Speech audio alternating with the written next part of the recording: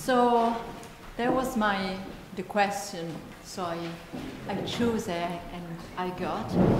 So I I would like to to use this time as a kind of a sharing space uh, and a sharing experience of composing because I ask myself. Um, about setting the playground so and I ask myself about aesthetics so i'm not a philosopher of course i'm not a musicologist so i, I thought that uh, what means for me aesthetics and for me it means doing composing so the relationship i would like to, to talk about the relationship of um, musical ideas and the realization of, of this and for me this question has three related uh, related uh, questions. There are um, why do we need a certain type of technology, and uh, how and where do we look for it, and how much time we spend on it to create it. And for that, I, I would like to present two case studies and two case studies about, about my work because it's the one I, I know I think better. And so um, the two case studies are about vocal distortion and vocal vibrato and how those two elements has been accompanying me for a very long time. Uh, as, as background, I, I've been trained as a singer, and so for me, voice and the production, the projection of voice is pretty much connected to my work as a composer. And so I spent a lot of time and I wrote uh, a lot of pieces uh, with for work related to voice. And then uh, at a certain point, I had the opportunity to, to dig uh, deeper to those questions during my research residency at IRCAM in 2017. And uh, the result of that uh, six month spread in one year residencies has been the, the, the, the composition of two pieces the canzoniere part one and part two, one for soprano percussion and live electronic, and the other for vocal ensemble. So those two pieces are the background of the presentation because they contain, in a way, the application of the more scientific uh, research that I did. So the question is, is how technology relates to aesthetics. I think is pretty much connected to how we get and build tools and how we apply those tools to our composition. For that matter, I think that it is very important to me to say that the, uh, the research of the tools is absolutely connected to the artistic need. So for me, having two problems how to create vocal distortion and how to create uh, to manipulate vocal vibrato has been at a certain point and at the center point. point and from that i try to look out for, for tools and so the first about the, the, the voice distortion uh, i had the opportunity to meet a singer a mezzo soprano was able to have an incredible technique to, to, to produce distortion. There are three examples of what she has been, she's able to do. So one is what is a tremolo with plus the glottis distortion. It sounds like this.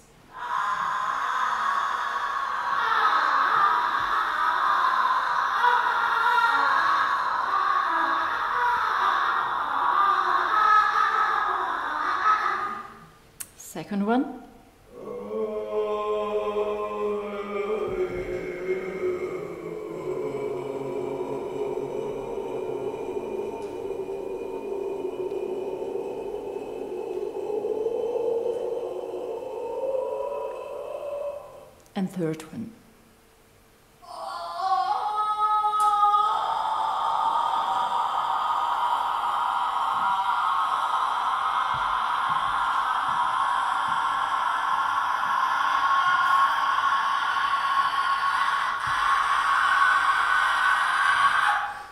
Okay, examples are without electronic, pure sound, just vocalizing. And so I was fascinated how I can, can get it, how I can produce those sounds uh, with singers that are not trained with this specific uh, technique. And so um, I just want to show a sonogram how, how it looks when the singer is producing the, the, the effort. So we don't have steady partials because she's to produce those sounds she needs a lot of time and and it's it's very hard to control them. So the question is how we can compose with that behind or beyond uh, an improvisational context. So this is how it sounds.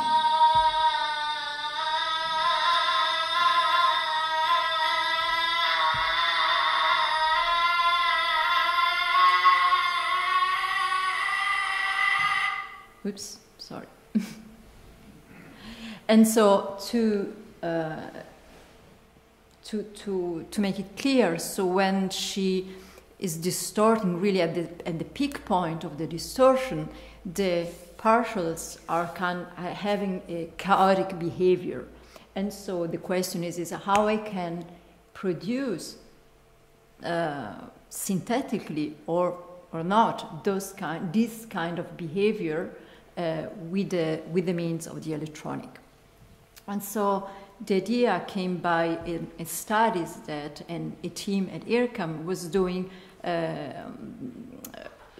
regarding of real-time processing of roughness, meaning the distortion in a technical way. And so the idea was to have the distortion by amplitude modulation. This is how it looks like a normal, not distorted voice with a little bit of roughness.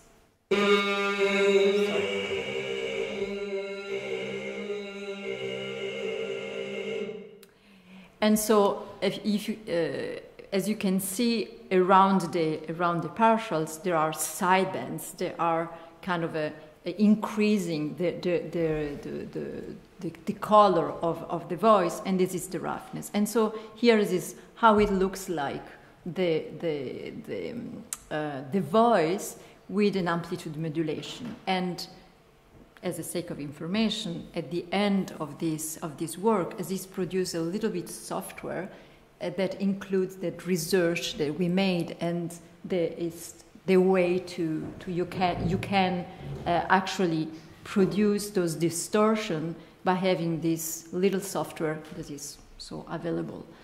And so there has been a, an experimental validation, of course, for that, and so is the how it sounds speech. There will be something missing. And going through the, the little software. There will be something missing. And uh, we have the singing voice. Try to find my way. Try to find my way. And with instruments.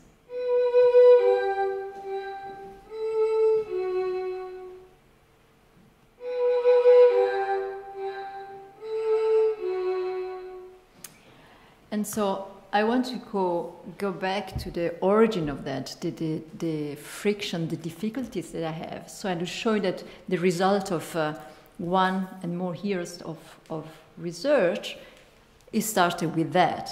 So this is the original sound without distortion.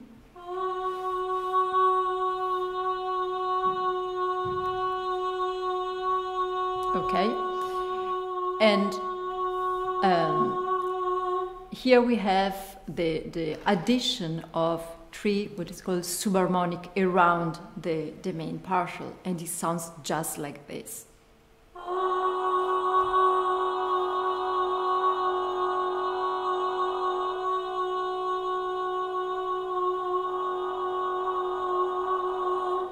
And so the idea is, how we get smooth transition between the place in which you have the roughness, so the distortion, and which you are not. So adding envelopes around uh, uh, fade in and fade out, basically.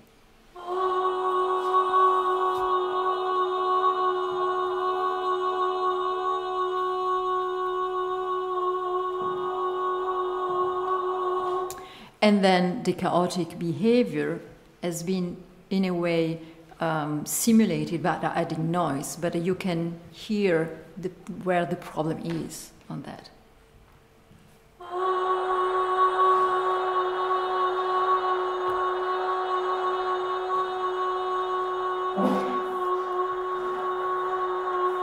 And and so the problem in that on that matter is that you don't have the effort of the of the um, of the distortion. So when the singer is just singing plain, and then you add the effect, you have a discrepancy between the effect that you are you are uh, working with and the production of the voice. So the idea is that uh, to use the voice a, a slightly easy to do distorted voice plus the effect. So, and I wanted to just give you a few seconds of of the result of that, meaning that for me, in another important, in another important point of of the aesthetics and the technology that I, I think that you don't write a piece because you have to use a technology, but you have a musical idea and you try to integrate a tool to get your uh, musical idea uh, done in a way.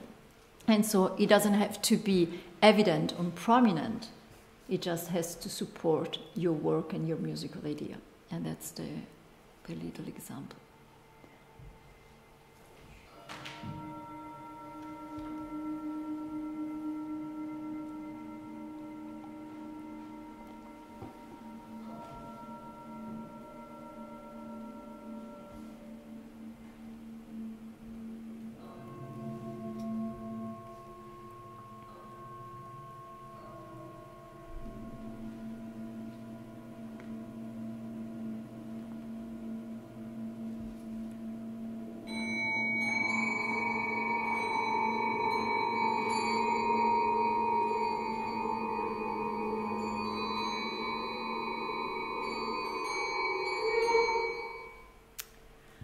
Okay, another study case about distortion is that I work with a poet that has a special voice, and I wanted to reproduce the mood, the state of that of that voice. And this is the the poet in question reading her poem. Introvert. Deep in my own green element, I met a friend, my double, my dearest. Others pulled me out of the sea, placed me in this pan of water, added salt, and taught me to eat bread. And so here the idea was to recreate those, as, um, um, those uh, dirtiness of the voice. And one proposition was to use a single, simple uh, ring modulation to have this connected to the um, um uh, source filter creating the, the change of vowels within the, within, the, uh, within the mouth. And so this is the vocal ensemble that to simulate the poet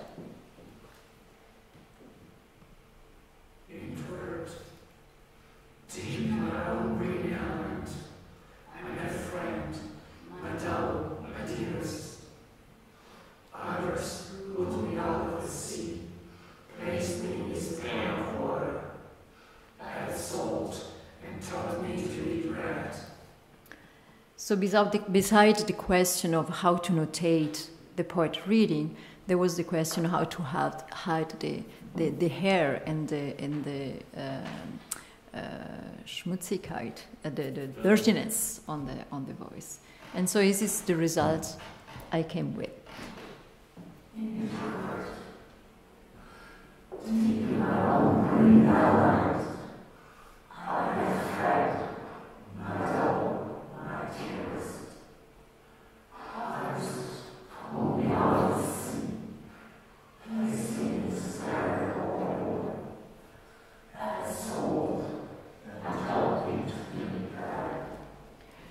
So in that case, I would say that the, the tools, in a way, limited the, the, the, the realization of what I was thinking because, of course, having these tools made live, you can't change constantly the, the rate of the, of, of, the, of the modulation was complicated and so in a way I have to smooth out the original idea to the, to the practical uh, use of technology in, a live concert situation. So here's the, is the way that you spend the time to try to dig to find the tools, and then you go back and compose also with that. So there is a back and forth process of, of, your, of, your, of your work.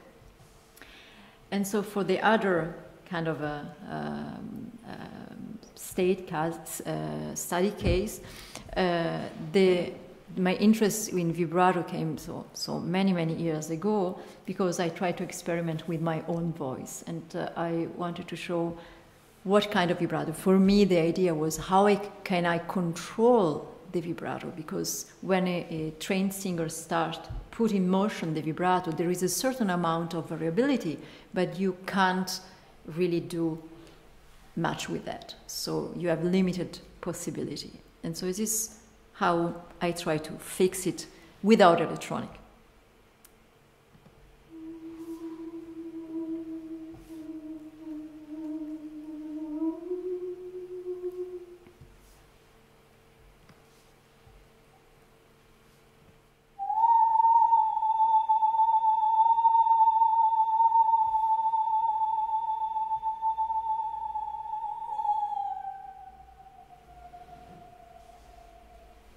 This is another kind.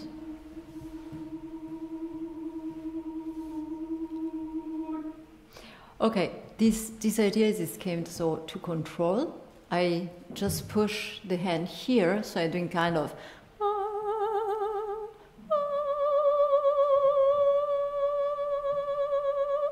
Okay, looks easy. For me, it's easy. The problem is that a real trained singer the most of them, I, the, the, many of them that I work with, they are not able to do it for one reason, because they have here an incredible strong muscular apparatus that doesn't allow this flexibility. All the point is, is to be so stable here they can project the voice. So it's very hard. You have, it doesn't come anything out. And so the question is, hmm, now I wrote an entire piece with that come to rehearsal. Nope. Nope. And, and that was it.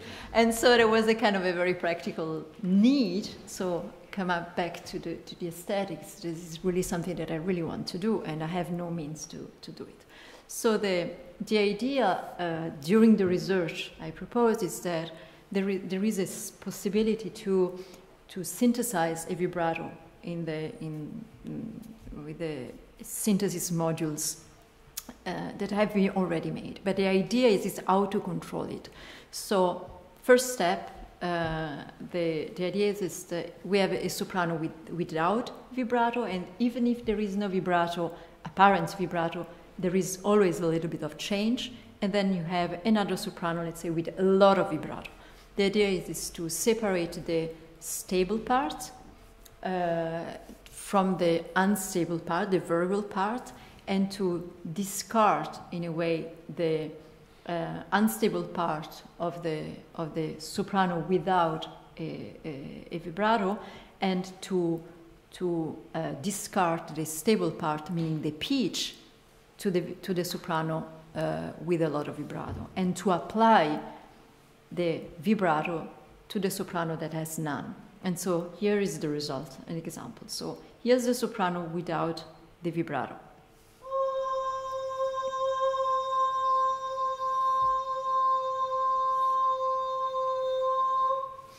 Here is the soprano with a lot of vibrato, no electronic, no synthesis.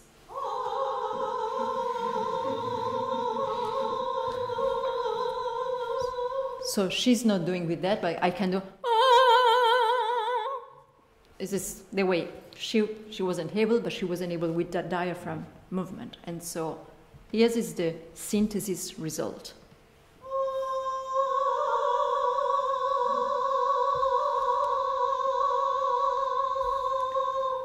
And of course, it can be applied on different pitches, on different situations, different speed. So the idea is that how I can manipulate the depth of the vibrato and how I can manipulate the speed of the vibrato. Manipulating the speed, I, I dig into the time stretch uh, question, and I wanted to dig into the segmentation of the vibrato because if I can segment the original model, I could compose different um, segment of the vibrato, I really have the, the possibility to compose with it. And so the recomposition part. So, just for the sake of the, of the story, to do this, I had to spend several months trying to have the basics of Python because the entire program was written in Python. I have no idea what was that, and so to to try to communicate with the scientific person, so the expert, in a way we start from a blank page, start coding, and I have to to learn how to how to express musical idea in more in a more uh, I would say scientific or very um, program programming uh, language. And so here is the, the post compositional possibility. So if we take the depth of the vibrato, I can start to work with envelopes, giving an envelopes to the to the vibrato and transform it. And this is the result.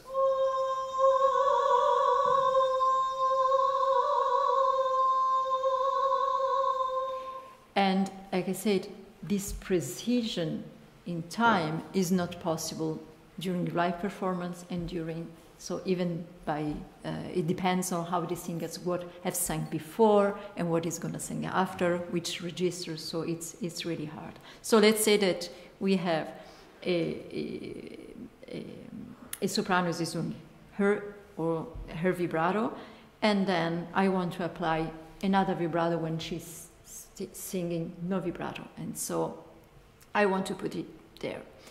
And so this is the result. This is the original one. So the first is um, uh, natural, the second is synthetic.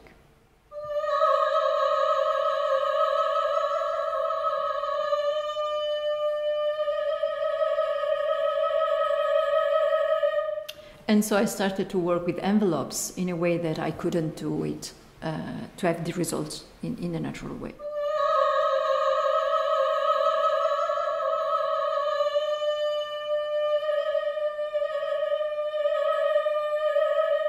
And why not exaggerate if I need to?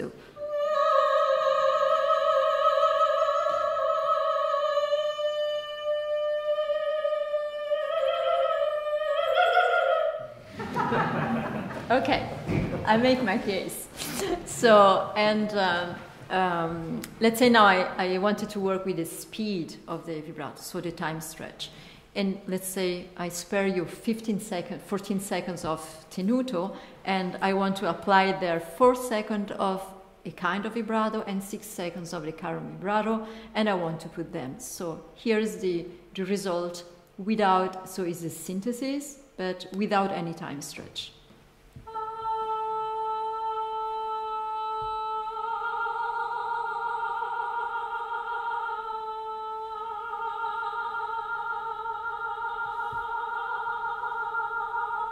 So I give it a factor of 1.3 uh, time stretch, stretch, and this is the result.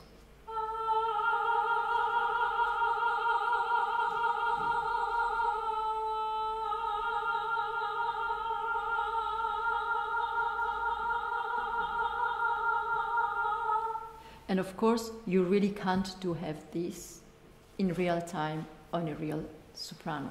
On a, uh, and so I you can also apply envelopes to, to produce a time stretch.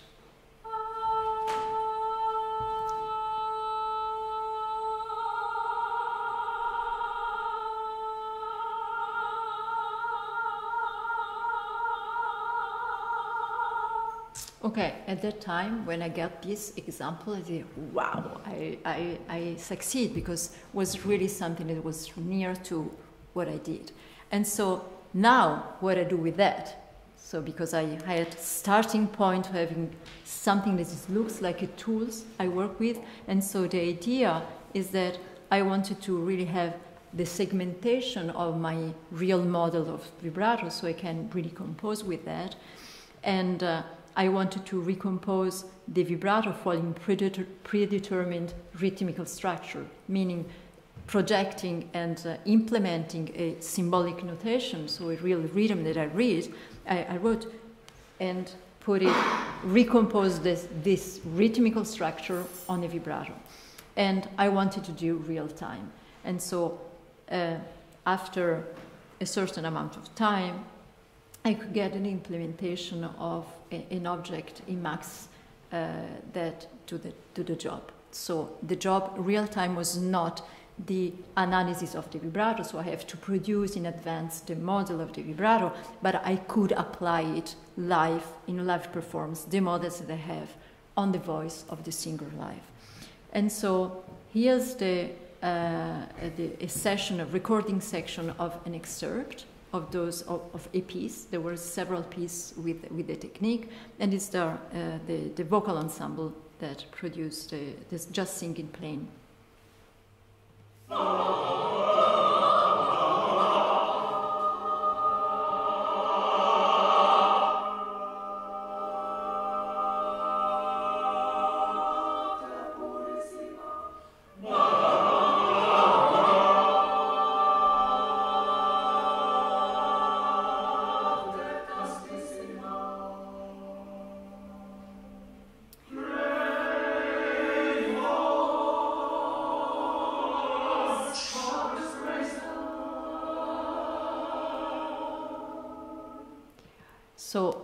idea is that I could record in a buffer the place where they are not singing the vibrato, and then uh, I have two options: so recording and playing on top of that a model of vibrato, and then maybe playing later like a polyphony uh, the buffer again and play and apply on that buffer the, the, the vibrato. So I have is a, a, superposition of what was sang and vibrato that was not there.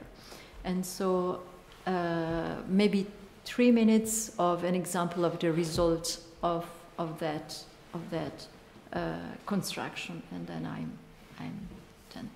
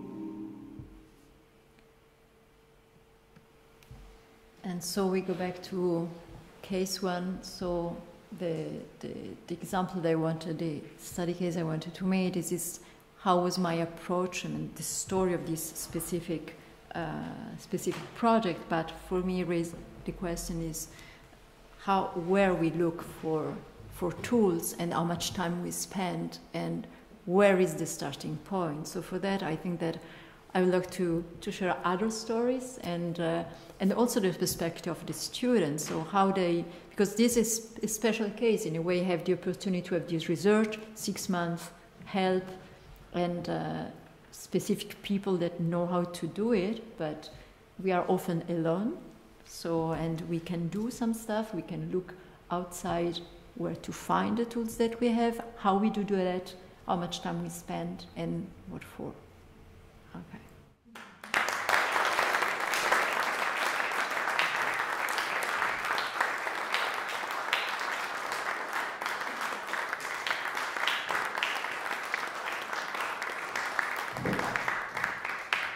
Thank you, Marta. Um, anyone want to start? Or should I start? I'll start. Oh, okay, now, who's the first then? Let's go around the room. Who is, Okay. Yeah, I, I would just would like to return to your question and uh, the regional question additional. And uh, what I, I would be interested to, to know wh- what what is the influence of electronics and um, not specifically now in this pieces, but in, in the way you see traditional parameters like pitch or, or written or something like this could be Mhm. interesting. Yeah. Uh, I think that this is a huge question also. So really for me because uh, I think that um, I tend to uh, to start with the really with the musical idea that is uh, almost independent of the electronic and almost independent of the uh, of the result, meaning that working with a musician is often the starting point of a concrete working with sound with object. And so and little by little are coming and buildings idea. And so um, I think that the maybe it would be I would say is maybe cl- a classical approach meaning that still harmony and pitches and musical parameters, uh, uh, dynamics are pretty much important of that. And when they are not there, it's because it's a, a kind of a, a conscious, aware, awareness choice. Is kind of a I don't want to use it. It's not because I have the tools that doesn't allow me to have pitch that okay now I write piece with, with noise because really I I if I want to work, I need pitch for that sound, I will try to find tools to, to do it. So it's always like the, the, the musical idea is coming always first. Then, honestly, when you start to work with the tools, new idea comes. So it's always a back and forth process. So I don't know if it answered the Yes, yes. The question. yes, yeah. You. Uh, thanks for the talk. Uh, it was full of a lot of input and uh, I really enjoyed it. Um, when you were talking about the, roughness parameter, um, I was wondering uh, how much data did you collect from it or how did you determine like, the, the bandwidth of the roughness? Is it something that was led by ear, by the artistic idea in the beginning, or how was the feedback loop in this? It's both way because the, the research was already started in that team specifically, but then I came in and uh, and uh, with the with the data with the recording I have, I could gather more um, information. So how this behavior and the tools that was developed was shaped by the knowledge I bring in, meaning that uh, the principle was to have uh, in a specific ra- proportion ratios of the bandwidth around the partials. And then you say okay here's the tool. Uh, there was the scientific let's say the scientific proof was it by giving five uh, subpartial you get a roughness. It was the state of the art when i came in. And of course i asked for 25 and they say, oh, this composer always wants to do crazy things. There is no reason because it's enough having five subpartial around, but I want to try with 25. And so the, the tools was built and I tried to play with that. And so there is a, a moment in which you out, completely outside the, the compositional task. You start to play and to, to test with that. And then where the collecting parameters, connections, and combination of things came in. And so you spend really a lot of time trying to figure out how this is. And then was fixed in the little software that you, you that you see. So the parameter was really, uh, uh, and I have to add that there was a, a, kind of a live testing, meaning with singers or me say or singing something and testing in in a to, to simulate a live uh, situation. So there was really step by step process. So the, there was a scientific uh, background that was there. So how the tools work, the idea, but then was the the artistic process. So meaning the, the the idea, for example, of having envelope that change over time the, the, the rate of the roughness. So there is no something. And the, those kind of ideas came playing together and playing with the tools. Yeah, well, actually, I think you already answered my question, but my uh, question was if you like compose more because of the lyrics or um, more because of uh, sound aesthetics. Like, how do you um, uh, decide how much um, technology you take into? Like, is it lyric related somehow? Uh, you said the beginning. I didn't get the beginning. The lyrics you said. Yeah. How, how much of your composing is related to lyrics? Like um, lyrics. Yeah. Oh, okay. So I have to add a couple of things about that because the the project uh, there is the the more artistic part. So the idea for me is to work with living poets. So I start to look. I was in a residency at, uh, in the United States, and uh, I started to interact with a, a, poet that was there in the residence, and she put me in contact with some American poets, and I had other connection uh, in uh, in Europe. So when I chose the, the, the text was because of the sound, and I, I continue to work with that. For me, the I realized after that the the what interesting me the most is are all the poets there are something to do with orality so they they uh, write i discovered that after. So why i like this more this and then more that. And it's because all of them are really connected to the performative act. So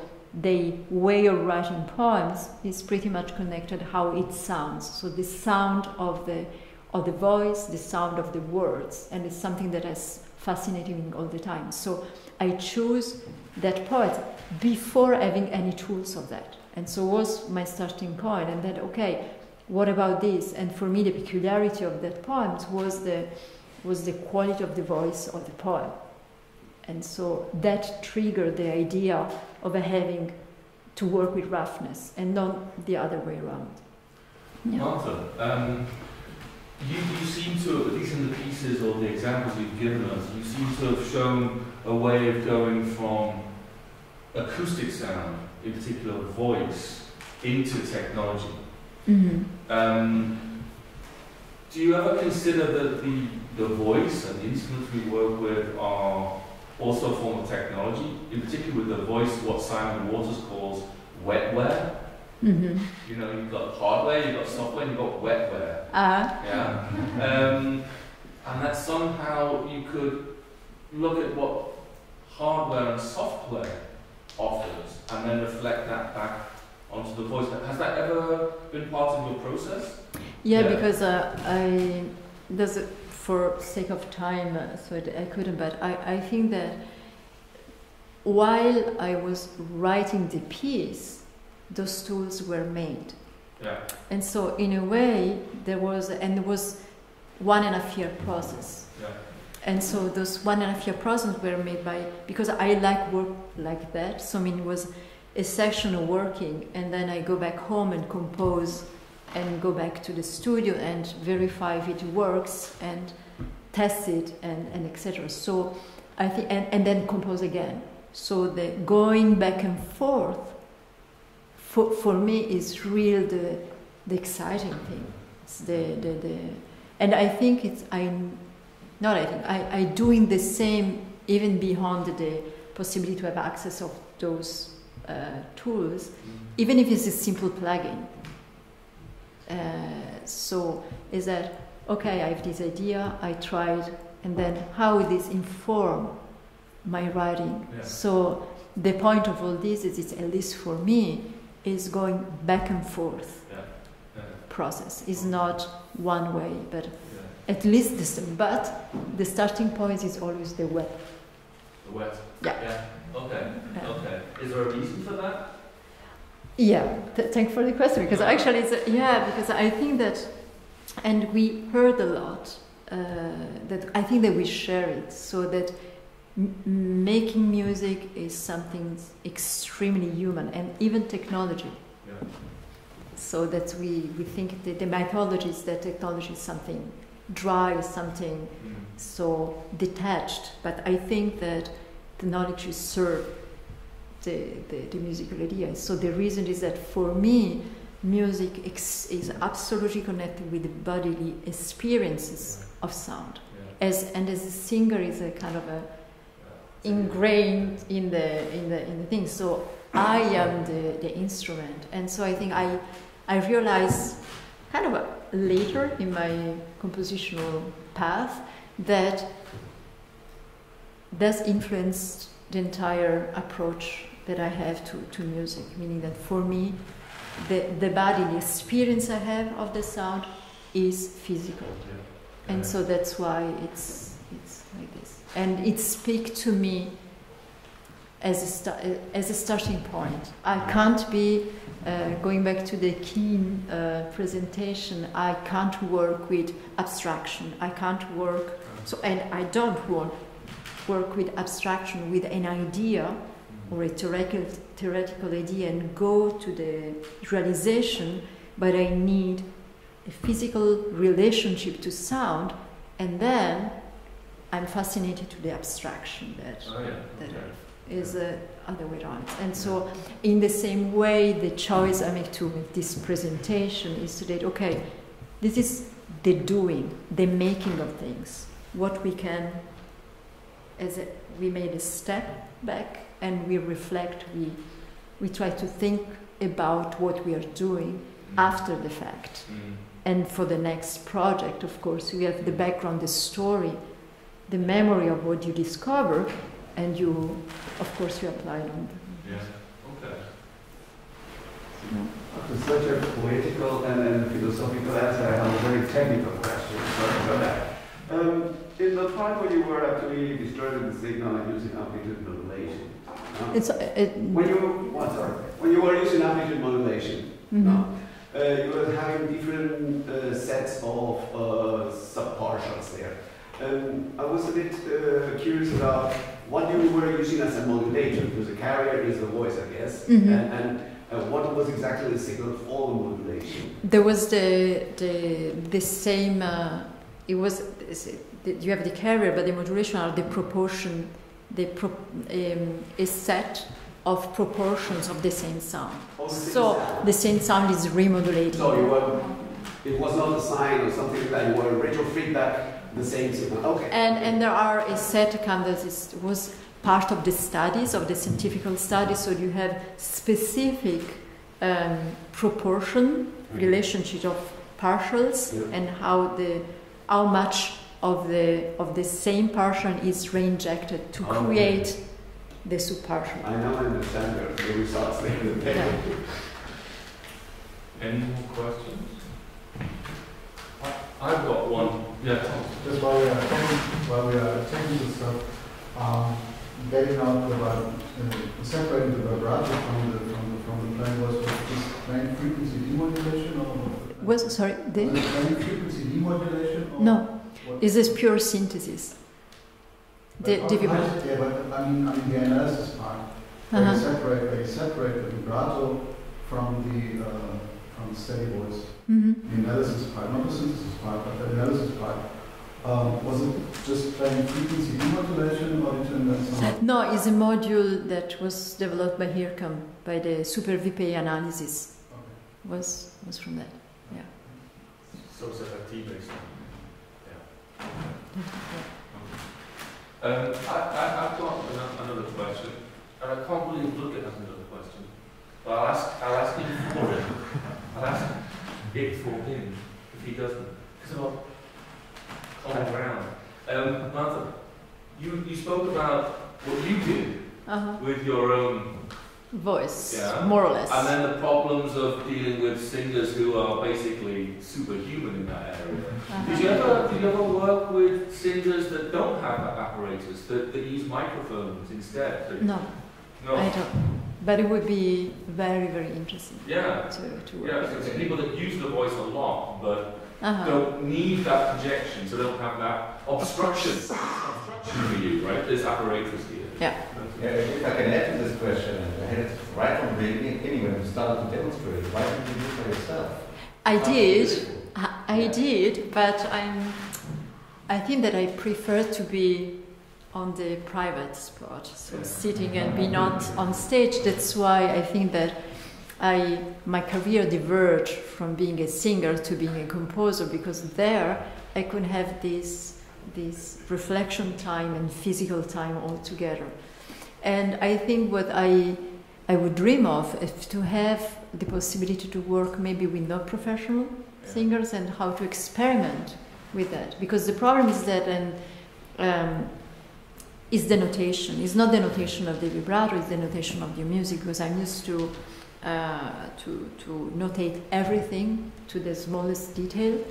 But then when you start with that, you have to be ready to to let it open. And it was the same question or problem when I work with for the distortion. For example, the singer say she was a professional singer, so having this special uh, technique. But then when it came to distortion, she said, "Wait a minute, I you can't notate it. You can't oblige me to to do this and then this and then this. It's not a machine. It's not a button that you push and you get." Your distortion, so it needs to be open, and that that was the question. I'm having deja vu right now, because I'm, I'm thinking of Zappa. Did we have this discussion not here, but in another discussion? I'm not sure. Maybe it's just me. Um, that Zappa was very interested in, in speech rhythms, but he was very explicit about not being interested in notating them, but actually taking those rhythms um, in the context of blues Mhm. how they how they come forth there and injecting that experience and that performance practice into his performances where notation plays almost no role in the, in the live situation. Yeah. Also sometimes too, but but often not. Yeah. Um, is that something that Yeah, I think that we we touched the the, the question. This is uh, a, a big one about what is music in a way or composition. Yeah. So and that I have mixed feeling in the sense that I um, I like to think that composing is to writing the time and Mm. dealing and manipulating time, so Yeah. sound in time that is composed.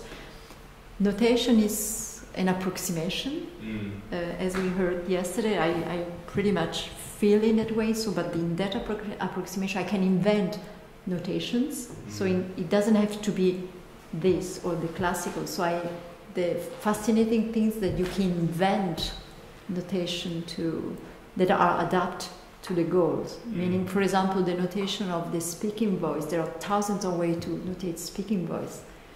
And I chose this one because I thought it, for that project in that moment was the simplest, because it's important to be simple, I think, simplest way to get uh, something to play with to the, to, the, to the musician. But I know very well that this notation, without the recording that I provide, would give other results, and I'm open to it. Yeah. So that is a, again is a question of choice, uh, and the choice was and is. I know if I notate this on that, I will have this result. If I notate in another way, I have to be open to to the wider range of results, Yeah. and uh, and so and I'm, for my own practice, till now, uh, I think this is gonna change, but till now I wasn't ready or prepared to to to have it completely open. So to to have kind of a uh, notate some ideas and to okay, I'm going to to a place and let's let's build this thing. So I always I have done this, but then I I go back to the score Yeah. Okay. and to the need to fix in a way for future performance. I'm not interested in if they are then really played again or not, but to to to have the possibilities of to go back and then go back to the other question that we had. So how much the notation of the electronic is important to reproduce it in a in a future. So this is all a question that really very and the obsolescence Yeah, yeah, yeah. what I've done. It's all there because in five years might be gone. Look, I'm asked a question. I'm sorry, just, just, just one, one, one question here now. Um, in this work, I mean, as soon as I heard what you were doing, I mean, my, my, my, my, my brain was just flashing and taking us back to, to Stanford and Chowning and his Mhm. work on, on the synthesized voice, which was so Mhm. revolutionary and which led to the FM synthesis, which we kind of heard in the most extreme example Mm. here. Was there any discussion of this work, or, or, or um, was it at all important to the to the people working with IRCAM or to you? Mhm. I think it was assumed as a background, as Assumed. history. Okay. So it was is there, Yeah. and we know that it is there, and so But nothing more than that. no, I think that it's something that. Um, yeah, it's like you know that it's there. It's part of your or your stratification, stratifica- stratified background. Okay. and then you try to to because I think that the this is another important question about technology and aesthetics that maybe I'm provocative, but even if the result seems to be like, if the tools is different, it can lead to other Absolutely. and so uh, I think that the question, the need, the aesthetical, the artistical need were very specific.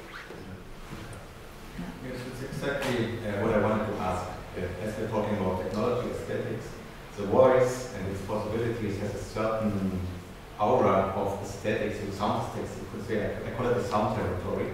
And now that you apply tech technology, I, I felt it was more from practical reasons, because you could not produce it with professional singers, what you intend. But I had the feeling, and I, I just asked you for a confirmation, that the use of technology in this case was uh, like to expand the human voice within the sound territory, not to make it something extraordinary. Because you gave gave one example, this is exaggerated, Mhm. and I I wasn't hearing anything like this Yeah. in your example. Th- thanks for the thanks for the the, the, the, the question because uh, it's the same also with the distortion actually. Exactly. And I gave a lecture sometimes ago. It was ha. That was the first time I heard distortion not being destructive on the on the sound. I don't want to destroy the sound, but it is something that is integrated. In the same way, I think this is project based. So you have a, an idea, you build a, a tools, and then this tool is used for this purpose. But then I know that this tool has another, a lot of possibility, potential. Yeah, that's a part of my question because you stay within the sound territory. Are you using electronics in another Ah, yeah. project? Is it just like to build more on its own aesthetics? The sound territory which has something, we we call it, it sounds electronic because it leaves the space of the voice. Yeah. It's still very interesting. It's like an extension which, which brings some new information.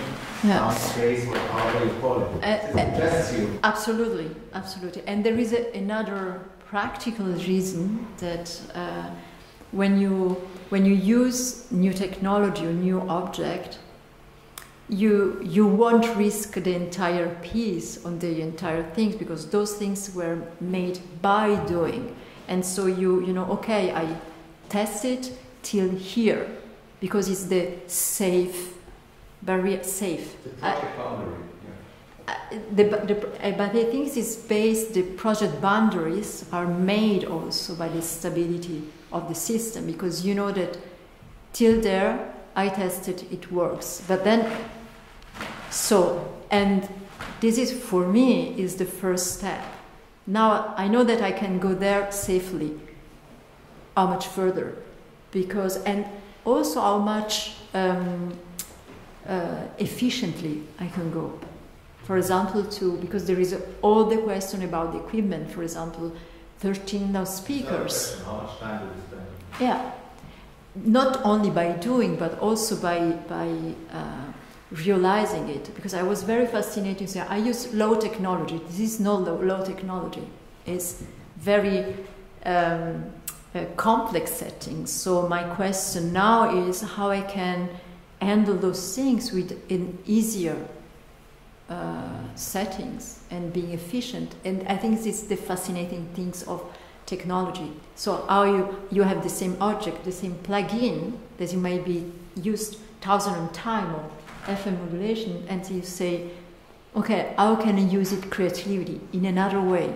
And that's where you would come to extend the boundaries. In that case, I, I wanted to to show how you the, the, the beginning of the process when you have an idea and you don't know exactly how to do it, and how you gather tools that are not already there, or the tools that are there. The, the, the, the fascinating things is how you create your own tool instead of gathering tools that exist that might have the same result but not the same potentiality. I don't think I've ever felt safe with technology in any kind of performance. So the idea of finding a safe limit and then, and then feeling comfortable is completely foreign to me. But we should probably break, but if someone feels the urgent need to say something, last chance. Okay, one last question. Did you ever try the, the roughness uh, self uh, modulation thing with non-harmonic I'm sorry, I don't, I don't know. Sorry. Uh, did you ever try the uh, roughness uh, object with non-harmonic spectrum, like multiphonics or bells and Yeah, it's very interesting. Yeah. next, next piece. Yeah, yeah, yeah, yeah. On that note, thank you very much, Martin.